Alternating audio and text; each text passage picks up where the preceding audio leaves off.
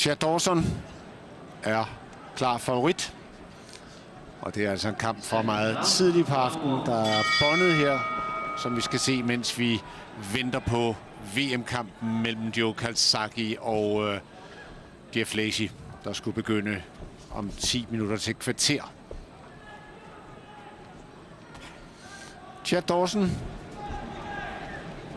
Endnu en højre fodsbokser, det må vi sætte mange af på dette lange, lange program her i Manchester.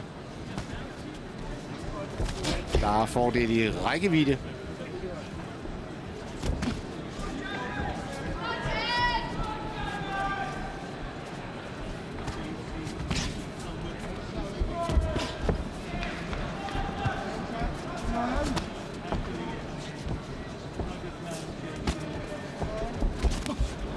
Pejler sig ind med den lige højre gøre, hvad der passer sig. Hvad passer ham?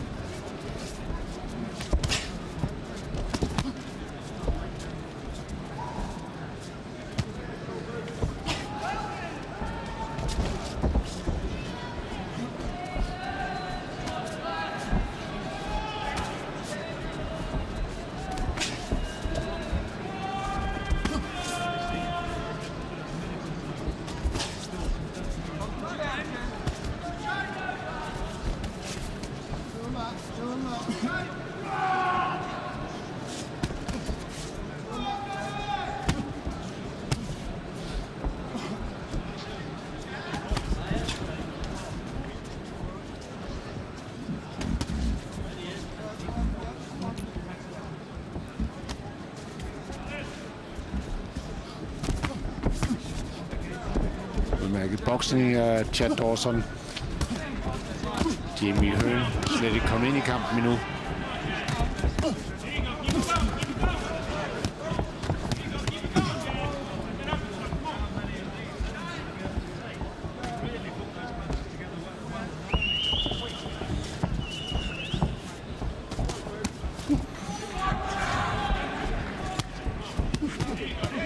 Pakker sig ind bag dobbeltparader. Jamie Hearn.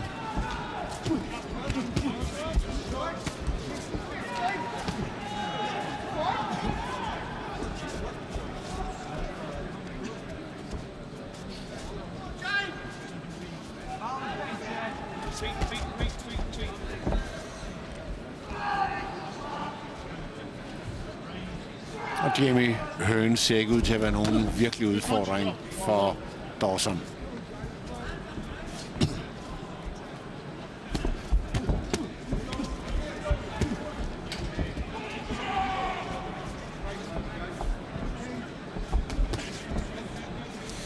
Og så velkommen tilbage til 3 plus seerne.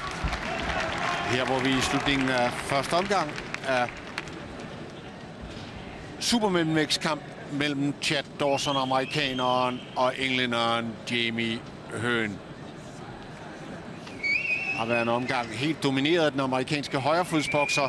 Der er ubesejret 21 kampe, 21 sejre, 14 af den på knockout, mens øh, Jamie Hearn kun har vundet en enkelt af sine sidste fire kampe og har en ikke specielt imponerende rekordliste med 16 kampe, 10 sejre, 4 på knockout, 5 nederlag og 1 uafgjort. Jamie Hearn her fra England, mens uh, Dawson er fra Connecticut, New Haven, USA. Her er der altså Hearn. En klar første omgang har vi haft til uh, Chad Dawson.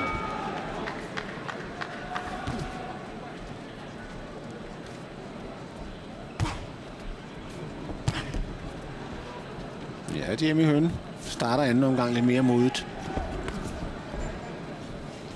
Pas på, når du tager den der venstre hånd parade, Høn, fordi der er Dawson og straffer med det samme med højre hook.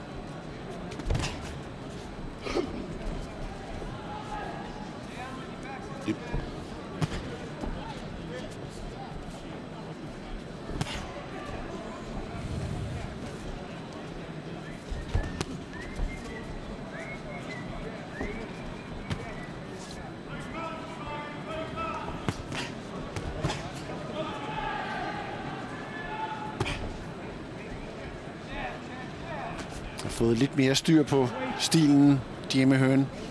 Men handicappet er klart kortere rækkevidde.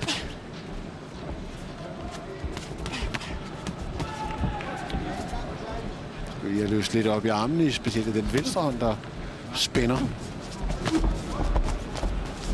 Ja, udmærket tabert kommet af Jimmy Høen her og god serie. Store arbejder tæsse i det, men lige der han går ind og presser Fjert Dorsen.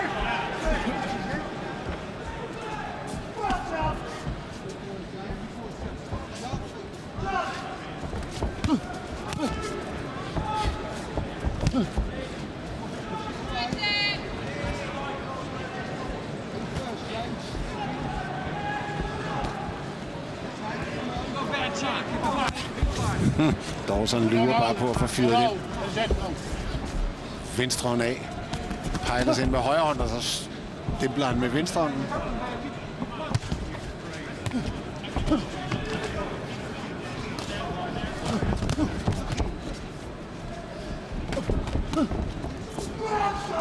Men ikke helt UF'en, trods alt. Øh, Jimmy Jamie Høen trænet af Jim Evans, der også er hans manager.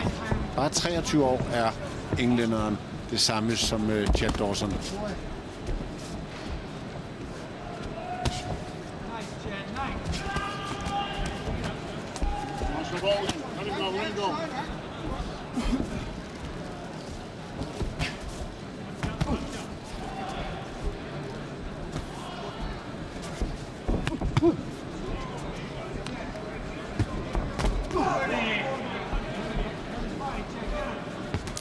Dawson slår to nu og kommer ind med venstrehånden og øh, påtaler om et fordybslag, som klart signerede høen.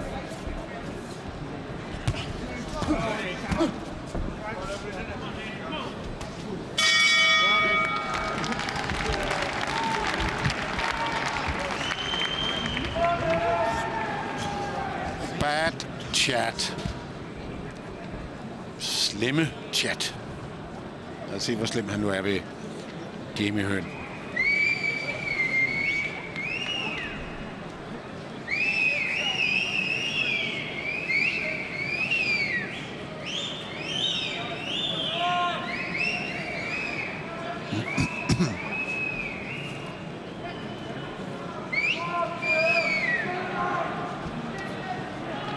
God venstre hånd her for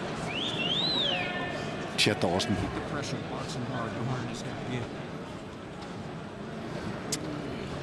Meget, meget rolig, velafbalanceret mod en modstander, der næppe udgør en seriøs trussel for ham. Tredje omgang.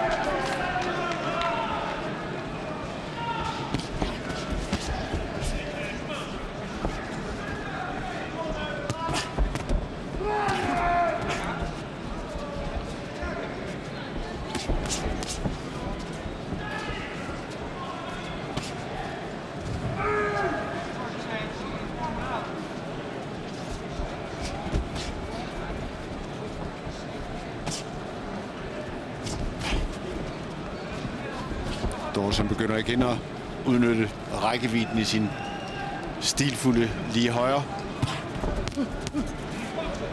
Og når Høen tager chancer og forsøger at springe en stød ind, bliver han fanget.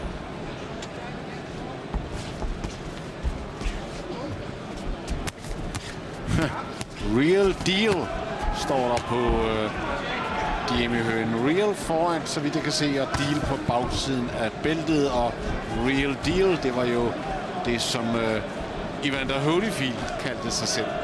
Evander Real Deal Holyfield. Den ægte vare, den øh, ægte sag.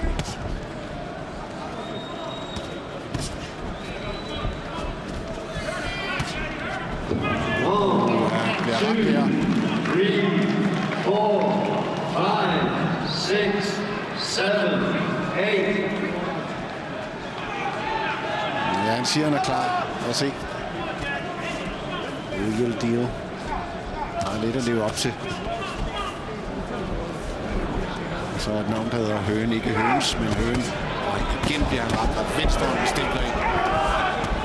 forsøger at fejle sig ud af det i en serie.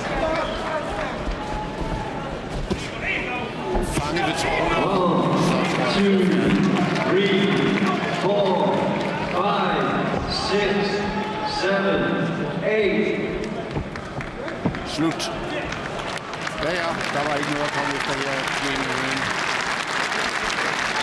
Chad Dawson, amerikaneren, kan tage hjem til New Haven i Connecticut i USA med en uplettet rekordliste. 22 kampe, 22 sejre, 15-18 på knockout. Ja, afgørelsen dybt højre, dybt højre til leveren.